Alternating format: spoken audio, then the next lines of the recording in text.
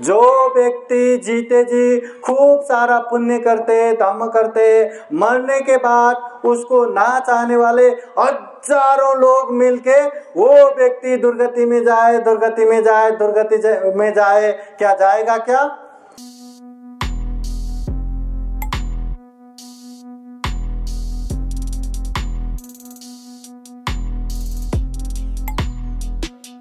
पवातदेपतुल्याय सायो सन्ततियाखयन् परूपमाय साम्पसं पावय मरणासति महाकारुणिक तथागत भगवान बुद्ध को त्रिवार वंदना महाकारुणिक तथागत बुद्ध द्वारा देशित सो आख्या धम्म को त्रिवार वंदना महाकारुणिक तथागत बुद्ध के आर्य श्रावक संघ को त्रिवार वंदना आज के विशेष कार्यक्रम में उपस्थित पूजने भिक्षु संघ भिक्षु संघ में ज्येष्ठ पूजनीय प्राध्यापक डॉक्टर एम सत्यपाल महाथेरो बंत जी पूजनीय भिक्षु रत्नदीप थेरो पूजनीय भिक्षु दीपंकर पूजनीय भिक्षु संघपाल पूजनीय भिक्षु धम्मशील थेरो पूजनीय भिक्षु मंगल बोधि पूजनीय भिक्षु नागसेन प्रमुख भिक्षु संघ श्राम निर्गन और श्रद्धा संपन्न बुद्धि संपन्न उपासक उपासिकाएँ आज विशेषतः दिवंगत उपासक वीर बाबा के पुण्य स्मृति, पुण्यानुमोदन के लिए आज विशेष कार्यक्रम का आयोजना हुआ है। पूजनीय भिक्षु संघ यहाँ उपस्थित है। तो ये पुण्यानुमोदन पुण्यानुमोदन क्या है? कि विशेषतः जो काल कथित उपासक है, जो हमारे आँखों से दूर हो चुका है, जिसे हम चाह के भी अच्छा खाना है करके नहीं दे सकते अच्छा कपड़ा है करके नहीं पहना सकते अच्छा घर है करके नहीं रख सकते अच्छा पैसा है करके हम किसी प्रकार के साथ नहीं दे सकते। तो उनके सुगति तथा निर्वाण कामना के लिए ये पुण्यानुमोदन कार्यक्रम है। सबसे पहले हमें पुण्य संचय करना है, चाहे सेल प्रार्थना द्वारा हो, परित्राण पाठ श्रवण द्वारा हो धमदेशना श्रवण द्वारा हो दान सेल भावना परिपूर्ण द्वारा हो हमें पुण्य संचय करना है और जल को साक्षी रखते हुए ये शरीर से ये वाणी से ये मन से पुण्यानुमोदन करना है ऐसा पुण्यानुमोदन सिर्फ़ आज के समय में ही नहीं महाकारुणिक तथागत बुद्ध के समय में भी ये पुण्यानुमोदन चलता था। हाँ तो ये पुण्यानुमोदन विशेषतः जो दिवंगत हो चुके हैं, जो काल कथित है, वो उपासक के सुगति तथा निर्वाण कामना करते हुए ये पुण्य अनुमोदन करते हैं। अभी जो दिवंगत हो चुके हैं, उनको ये पुण्य प्राप्त होता है क्या? नहीं होता क्या? हा? होता है। ये भी हमें पता नहीं, क्योंकि मुझे पुण्य मिल गया। ऐसा तो बोलने आता नहीं, और नहीं मिलता, ये भी पता नहीं। हाँ? महाकारुणिक तथागत बुद्ध के समय में अनाथ पिंडिक महाजन के जो पोती है, उसके कारण यह पुण्यानुमोदन का प्रारंभ हुआ। एक समय मगध के राजा बिंबिसार को अनेक बार भयानक भयानक स्वप्न दिखने लगा। एक बार दिखता है, सामान्य है। दो बार दिखता है, सामान्य है। मगर बार बार और वही वो ऐसा ही सपना दिखने लगा तो वो डरने लगा कि क्या है? क्या बात है? तो वो भगवान बुद्ध के पास जाके पूछने गए। तो भगवान बुद्ध ने कहा कि पहले एक समय के तुम्हारे ही अपने हाँ तुम्हारे अपने किसी एक पाप की वजह से दुर्गति में है। अभी उसको पुण्य अनुमोदन करने वाला कोई नहीं है। तुम बुद्ध के उपासक हो, तुम्हें पुण्य करना आता है, इसलिए तुम पुण्य अनुमोदन करे, इसलिए तुम्हें ये सपना दिखाया। तो अभी मैं क्या करूँ? पुण्य करो, पुण्य अनुमोदन करो। राजा बिंबिसार ने पुण्य संचय करके पुण्य अनुमोदन किया तो वो पुण्य उनको प्राप्त हुआ। और वो दुर्गति से मुक्त हुआ, ऐसा भी बौद्ध वांग्मय में उल्लेख है। मतलब अगर जो दिवंगत हो चुका है और सही में उसको पुण्य की ज़रूरत है और वो पुण्य की आशा करके बैठे हैं और हमने पुण्य संचय करके पुण्य अनुमोदन करते हैं तो वो पुण्य प्राप्त होता है, ऐसा कहते हैं। जैसे यही समय में टीवी हो, रेडियो हो हाँ टीवी खोलेंगे तो टीवी चालू रहता है, रेडियो खोलेंगे तो रेडियो रेडियो के फ्रिक्वेंसी अनुसार वहाँ सब चलता रहता है। मगर हम वो रेडियो चालू ही नहीं करते, हम वो टीवी खोलते ही नहीं तो वो आता है क्या? नहीं आता। वैसे ही जो दिवंगत हो चुके हैं, वो पुण्यवान है धर्मात्मा है, वो तो सुगति में चला जाएगा। और सुगति वाले को कोई पुण्य की आवश्यकता नहीं रहता, इसलिए पुण्य की आशा करके नहीं बैठते। मगर उसको पुण्य की आशा है तो वो जैसे रेडियो खोल के बैठेगा टीवी खोल के बैठेगा, मगर स्टेशन से वो प्रोग्राम रिकॉर्डिंग नहीं है और वो कोई चालू करके ही नहीं रखा तो कितना भी रेडियो खोलो टीवी खोलो, वो वहाँ चालू नहीं होगा। उसी तरह जिस तरह पुण्य का आशा करके बैठे हैं, वैसे ही हमें भी पुण्य संचय करना है और वो पुण्य अनुमोदन करना है, तब जाके वो पुण्य प्राप्त होगा। मगर यह महाकारुणिक तथागत के धम्म, वैज्ञानिक धम्म है, मानवतावादी धम्म है, जो आँखों से नहीं दिखता, उसमें ज़्यादातर विश्वास तो नहीं करते। अभी हमें पुण्यानुमोदन करना है, ये बौद्ध परंपरा है। हर, चाहे श्रीलंका हो, थाईलैंड हो, म्यांमार हो, लाओस हो कम्बोडिया हो मरण पश्चात इस तरह का पुण्यानुमोदन करते हैं। तो हम भी कर रहे हैं। तो ये पुण्य अनुमोदन करके उनको पुण्य प्राप्त हुआ, ये भी पता नहीं, उनको पुण्य प्राप्त नहीं हुआ, ये भी पता नहीं। तो ये क्या कर रहे ये हम अपना कर्तव्य कर रहे हैं?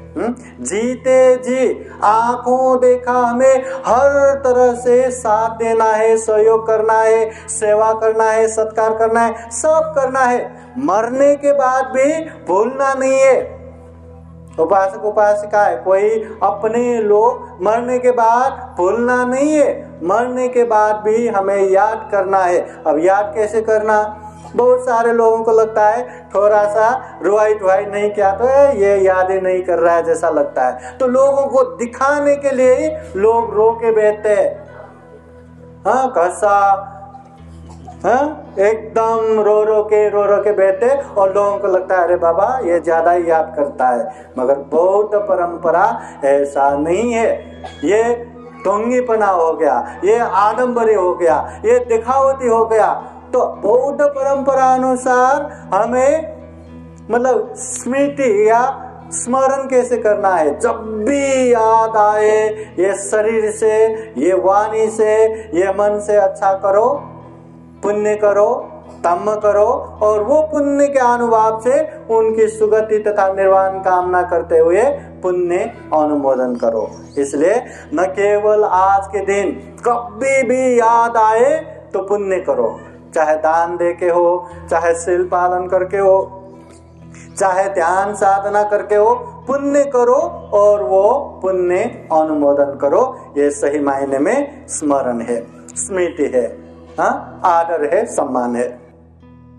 अभी जो भी गुजर जाते हैं, ये देख देख के हमें भी बहुत सारी बातें सीखना रहता है। हाँ सबसे महत्वपूर्ण बात देखिए जो बीर बाबा गुजर गए, उनका कितने परिवार रहेंगे? कितने बड़े बड़े अफसर लोग? हाँ परिवार है, बेटा है करके कोई भी साथ में लेके गया क्या? नहीं, हमें भी वैसा ही सब कुछ छोड़ के जाना है। उनके पास तान संपत्ति है, गाड़ी है, बंगला है, घर है ज़मीन है, या कोई भी संपत्ति है करके कुछ भी साथ में लेके गया क्या? नहीं। हमें भी मरते समय सब कुछ छोड़ के जाना है। और तो और, ये मेरा हाथ, ये मेरा पैर, ये मेरा चेहरा, कितना अच्छा लगता है ना अपने शरीर। हाँ बड़े बड़े लोग भी अपने शरीर को नहला धुला के कितना अच्छा रखते हैं। तो ये शरीर भी क्या उपासक ने साथ में लेके गया क्या? नहीं, यही छोड़ के गया। कितने कितने लकड़ियों में जला के राख बना दिया और उसमें भी जो अवशेष बच गया, उसको भी पानी में बहा दिया। हमारा शरीर भी एक दिन ऐसे ही राख बनने वाले हैं। और ये शरीर के लिए हम न जाने दुनिया भर के पाप करके बैठते, दुनिया भर के अकुशल करके बैठते। इसलिए उपासक उपासिकाएँ, याद रखना, कोई धन संपत्ति साथ में आने वाला नहीं है, कोई परिवार साथ में आने वाला नहीं है, अपना ये शरीर भी साथ में आने वाला नहीं है। चित्त धारा के संग संग संग संग एक ही साथ में आने वाले है, वो है कम कम बोले तो काम। काम बोले तो जो हम शरीर से, वाणी से, मन से करते हैं, वो कम कम या तो अच्छा है, कुशल कम या तो बुरा है, अकुशल कम जो अच्छा करता है, उसको अच्छा ही परिणाम आता है। जो बुरा करता है, उसको बुरा ही परिणाम आता है। आप लोगों को क्या लगता है? कोई एक व्यक्ति खूब जीवन में पाप करके गया, मर गया और वो बहुत पैसे वाला है। हज़ारों लोगों को बुला के वो मेरे पिताजी या मेरे आ, वो व्यक्ति सुगति जाए सुगति जाए करके दान पुण्य करने से या अच्छा करने से वो सुगति जाएगा क्या? क्यों नहीं जाएगा? क्योंकि जीवन भर उसने पाप किया है। और वैसे ही जो व्यक्ति जीते जी खूब सारा पुण्य करते धम करते, मरने के बाद उसको ना चाहने वाले हज़ारों लोग मिलके वो व्यक्ति दुर्गति में जाए, दुर्गति में जाए, दुर्गति में जाए, क्या जाएगा क्या? संभव नहीं। जो अच्छा करता है वो अच्छे गति पे जाता है जो बुरा करता है वो बुरे गति पे ही जाता है। इसलिए महाकारुणिक तथागत बुद्ध कहते अत्ता ही अतनो नाथ, कोई नाथ परोसिया, हम खुद के मालक खुद ही है। हमारे कोई मालक नहीं है। जीते जी हमने पुण्य किया, धम्म किया, दान दिया शील पालन किया, ध्यान भावना किया। हम अपने आप सुगति जाएँगे, अपने आप निर्वाण के नज़दीक जाएँगे। मगर जो व्यक्ति पाप करता है अकुशल करता है अधम्म करता है, और उसके कितने भी परिवार हो, कितने भी धन संपत्ति हो, मरने के बाद उसको सुगति नहीं पहुँचा सकता। इसलिए ये वर्तमान समय हमारे हाथ में जो गुजर गए, वो गुजर गए, उसको हम करेक्शन नहीं कर सकते, उसको एडिटिंग नहीं कर सकते। और फ्यूचर तो फ्यूचर है, आया ही नहीं, उसको क्या देखना, है ना? मगर ये वर्तमान समय हमारे हाथ में, ये समय में हम चाहे तो मन में खूब प्रसन्नता, खूब पुण्य भाव से भर सकते हैं, खूब पुण्य कर सकते हैं। अगर नहीं चाहा तो इतने अच्छे जगह में बैठ के भी मन में न जाने क्या क्या क्या क्या लोभ, लालच, राग, द्वेष, मोह, क्लेश, अनेक अनेक सोचते सोचते सोचते सोचते वो पाप ही करके बैठेगा। वाणी से किसी को गाली देगा, किसी को गुस्सा करेगा, किसी को अनाप शनाप बोलेगा, किसी का निंदा चर्चा करेगा, किसी को चुगली करेगा, वो वाणी से भी पाप करके ही बैठेगा, शरीर से पाप करके बैठेगा, है ना? इसलिए ये वर्तमान समय हमारे हाथ में है। हम चाहे तो खूब अच्छे पुण्य धम्म कर सकते और पुण्य धम्म करके बेटा तो कोई हमें सुगति पहुँचा देगा, कोई हमें तार देगा। ये आस रखने की ज़रूरत नहीं है। यहाँ अच्छा किया तो यहाँ भी अच्छा होगा, बीच में भी अच्छा होगा, अंत में भी अच्छा होगा। इसलिए उपासक उपासिकाएँ ये बौद्ध परंपरा है। पुण्यानुमोदन करना। स्वयं महाकारुणिक तथागत बुद्ध ने भी ये पुण्यानुमोदन द्वारा दुर्गति गामी प्राणी को दुर्गति मुक्त किया है।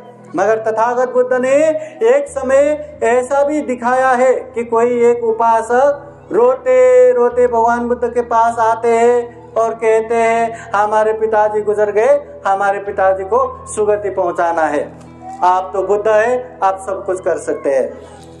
तथागत बुद्ध हर चीज़ लोगों की मनस्थिति को देखते हुए समझाते हैं। कभी कभी सीधे सीधे समझाते हैं कभी कभी व्याख्या करके समझाते हैं कभी कभी अनेक उदाहरण दे के कहानियों के साथ समझाते हैं और कभी कभी उनको ही प्रति प्रश्न करके समझाते हैं। उस समय महाकारुणिक तथागत बुद्ध उनको समझाने के लिए कहते हैं, ठीक है, मैं कुछ करता हूँ। दो मटकी का हाँ बर्तन ले लो। एक में बालो भर दो, एक में घी भर दो। तो वो उपासक प्रसन्न, अरे, मेरे पिताजी के लिए बुद्ध बहुत बड़ा कर्म कांड करने वाले। ठीक है, करके तुरंत घर से लाया। तथागत बुद्ध कहते हैं, ये पकड़ो और नदी के तरफ़ चलो। हाँ ठीक है, नदी के तरफ़ चले। और नदी में पहुँचने के बाद तथागत बुद्ध कहते हैं, जो बालों वाला बर्तन है, उसे फोड़ दो। फोड़ दिया, सारे रेती, बालो पानी के नीचे गया। फिर तथागत बुद्ध कहते हैं, अभी जो घी वाला बर्तन है, उसको भी फोड़ दो। वो प्रसन्न, वो खुशी कि मेरे पिताजी के लिए बुद्ध बहुत बड़ा कर्म कांड कर रहे, वो घी वाला बर्तन भी तोड़ दिया और वही उसमें का घी सारे के सारे पानी में आके बैठा। उस समय तथागत बुद्ध कहते हैं, हे उपासक, अभी ऐसा करो, जो पानी के ऊपर तैर रहा है, वो घी को पानी के अंदर भेजो और पानी के नीचे जो डूब गया है, वो रेती, उसको पानी के ऊपर तैरने लगाओ। तो उपासक देखते रहते भगवान, ऐसे कैसे संभव है? वो रेती पार युक्त है, वो पानी में डूबना ही है और वो घी पानी में तैरना उसका स्वभाव है। वो तो तैरेगा ही। तथागत बुद्ध कहते हैं, उपासक, मैं भी तो यही समझा रहा हूँ। हाँ? जिस तरह रेती का स्वभाव है, पानी में डूबना, उसका पहाड़ है, वैसे ही जो व्यक्ति पहाड़ युक्त अकुशल करेगा, पाप करेगा वो न चाहते हुए भी दुर्गतिगामी होगा, दुर्गति में ही जाएगा। मगर जो घी जैसा हल्का फुल्का अच्छे काम करते हैं, पुण्य करते हैं, तम करते हैं, वो सुगति, अच्छे गति पे ही जाएगा। मतलब कोई भी, किसी को भी ऐसे सुगति नहीं पहुँचा सकते। उपासक उपासिकाएँ अगर इस तरह सुगति पहुँचा सकता हो तो हर कोई सुगति के लिए थोड़ा बहुत बजट रखता। जिसके पास पैसा है वो एक करोड़ रखता।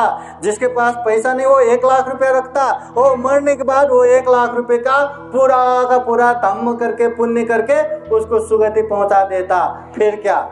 जीते जी खाओ, पियो, मोज करो। ऋणम कृत्वा घृतम पिवे ऋण लेके भी घी भात खाते रहो। मगर मौज करो मज़ा करो क्योंकि मरने के बाद सुगति पहुँचाने वाला तो है ना? ठेका पता तो हो गया ना? मगर ऐसा संभव होता है क्या? नहीं होता। अगर ऐसा होता तो पैसे वाला कोई दुर्गति जाता ही नहीं। पैसे वाला कोई गलत जगह पे जाता ही नहीं। वो तो हमेशा सुगति ही चला जाता। इसलिए उपासक उपासिकाएँ ये वर्तमान समय हमारे हाथ में है। हमें खूब पुण्य करना चाहिए, खूब कर्म करना चाहिए। जितना हम दान शील ध्यान, भावना द्वारा पुण्य करेंगे, उतना ही हमारा कल्याण होगा, उतना ही हमारे सुगति का कारण होगा। इसलिए उपासक उपासिकाएँ हम भी जीवन में खूब सारा पुण्य करना चाहिए, खूब सारा तम करना चाहिए। और जो अपने लोग हमेशा अजर अमर, ध्रुव नित्य शाश्वत तो है नहीं, कभी न कभी तो गुजर जाना ही है। तो ऐसे समय में जीते जी जितना हो सके उतना सेवा करना है, सत्कार करना है, सम्मान करना है। मरने के बाद भी समय समय पर इस तरह का पुण्य कार्य करते हुए पुण्यानुमोदन करना है। ये हमारी मानव कर्तव्य है। अगर उनको पुण्य की आवश्यकता है तो उनको पुण्य भी प्राप्त हो गया। अगर पुण्य आवश्यकता भी नहीं है, या पुण्य प्राप्त हुआ, नहीं हुआ, हमें हमें पता नहीं। एक तो हम अपना कर्तव्य कर रहे हैं, और दूसरा प्रत्यक्ष हम पुण्य कर रहे हैं। यही मौके पर इतने सारे भिक्खु संघ को बुला के इतना बड़ा पुण्य कार्य कर रहे हैं। इसलिए इस तरह का ये जो हम कर रहे हैं सिर्फ़ कर्म कांड ही नहीं पुण्य कार्य है धर्म कार्य है। इसलिए आज पूजने भी कुछ अंग को यहाँ आमंत्रण करते हुए जो हमने परित्राण पाठ श्रवण किया, सेल प्रार्थना किया, धम्म देशना सुना, भोजन दान दिया, जो दान शील भावना परिपूर्ण हो रहा है, ये बहुत बड़ा पुण्य है, धम्म है। इस पुण्य के अनुभव से बुद्ध धम्म, संघ के अनंत अनंत गुण धम्म और आशीर्वाद के अनुभव से विशेष रूप से जो दिवंगत उपासक है, उनको सुगति प्राप्त हो। दुख मुक्त निर्वाण प्राप्त हो। जो जीवित संपूर्ण परिवार है बंधु बांधव सबके जीवन में बुद्ध का आशीर्वाद रहे तम का आशीर्वाद रहे, संघ का आशीर्वाद रहे। जीवन में खूब सारा पुण्य धम्म करते करते ये दुर्लभ यह अमूल्य ये सर्वश्रेष्ठ मनुष्य जीवन को सफल बना सके, सार्थक बना सके अंत में जन्म व्याधि मरण से मुक्त, निर्वाण तक प्राप्त कर सके, ऐसी कामना करते हुए ये धम्म देशना यही समापन करते हैं। सबका मंगल हो, सबका कल्याण हो, भवतो सब मंगलम। साधु।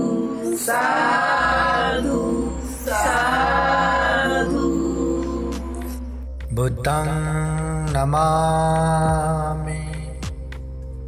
बुद्ध को नमन करता। हूँ तमं नमामि। तम को नमन करता। हूँ संघं नमामि। संघ को नमन करता। हूँ